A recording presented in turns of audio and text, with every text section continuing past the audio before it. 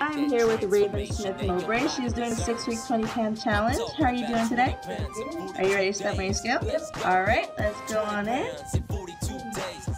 And her initial weight is 239.9. I'm here with Raveen Mowbray to do the six week 20 pound challenge. Her initial weight was 239.9. Her goal is 219.9. She is at 216.3.